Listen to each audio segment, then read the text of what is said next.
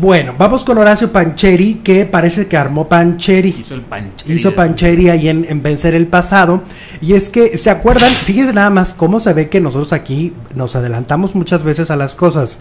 Hay un, hay un video, hay un programa en donde nosotros hablábamos de que él, ¿qué onda? Si iba o no a terminar la telenovela, porque yo lo veía ya enfocado en otras cosas, ¿no?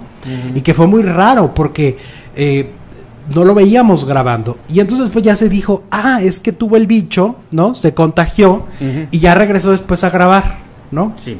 Aquí lo dijimos. Pero entonces ahora se sabe qué pasó. Que resulta que se enojó mucho Rocío Campo, la productora de la telenovela Vencer el Pasado, se molestó muchísimo porque, pues, Rocío Campo, desde la anterior telenovela, Vencer el Desamor, ah, se juntaba con cada uno de los actores y hacía un acuerdo con ellos y les decía, por favor te pido que durante estos cuatro o cinco meses de grabación, tú solo estés de el foro a la casa y de la casa al foro, ni siquiera al gimnasio. Por eso veíamos que un David Cepeda bajaba músculo y se veía mucho más delgado, porque él mismo lo dijo. Dejó de ir al gimnasio por el compromiso que hizo con Rocio Campo. Sí. Porque es un compromiso que es entre menos contagios, pues menos dinero perdido, menos gente enferma. O sea, recordemos que eh, pues es, el que se enferme a alguien de tu producción puede ser una moneda al aire, ¿no? Puede ser que se recupere o puede ser que no también. Claro.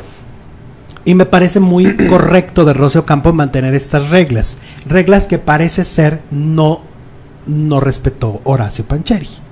Entonces, eh, Horacio decía que no sabía dónde se había contagiado, que él se había guardado los protocolos, pero parece ser que Rosy como que sí tenía ubicado, que se había movido, no del gimnasio a la casa, o sea, se había ido a fiesta, había ido a otros lugares donde pues se contagió. Entonces que Rosy sí le metió una regañada que no, no, no, no, que no le ha de haber gustado nada a Horacio Pancheri. Según la información, parece ser que sí fue fuerte el regaño que no es el primer regaño de Horacio en Televisa.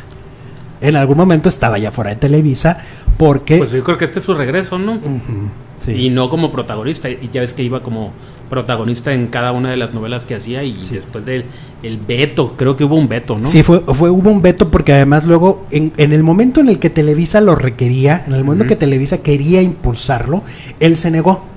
O sea, él quiso hacer otras cosas y ahí fue donde, pues tú sabes que así son las empresas. y ahora vuelves, pero vuelves como antagonista. Como antagonista. Ganando menos. Ya no respetando el... Ajá, exactamente. Porque pues sí, depende de, de, de tu estatus en la telenovela, vas a ganar. Entonces, ah, que fue con la mexicana, claro, el regreso. Ah, claro, sí. Gracias, Emilio. La mexicana y el güero. Pero era una participación especial también. Sí, o sea, a lo que vamos es que no está regresando como prota, ¿no? Ni en la mexicana ni en vencer. Eh, no. No, no, no. No, no. Entonces ahí No, porque está. él debería haber tenido el personaje de Sebastián Rulli, por ejemplo, ¿no? Sí. Si hubiera seguido, si no lo hubieran vetado. Correcto, es como volverse a ganar la confianza uh -huh. y en este caso, pues eh, una productora, la más importante creo de la actualidad de Televisa, pues lo, lo Pero, tiene ya como en la ficha roja. ¿Por exacto. qué? Porque no, porque porque le complicó la... la... Es, eh, pero eh, bueno, es que son protagonistas, son protagonistas. Y en el momento en que ya pasan al antagonista, como que pierden algo, ¿no? Como uh -huh. que ya no son siempre el protagonista. Hay unos que ya nunca regresan, ya ¿eh? no van a ser. Uh -huh. Y entonces ahí pierden puntos. Hay unos que nunca vuelven, nunca vuelven a, a, a protagonizar. Y pues así, el problemón en Televisa, el agarrón entre productora y actor. Ok,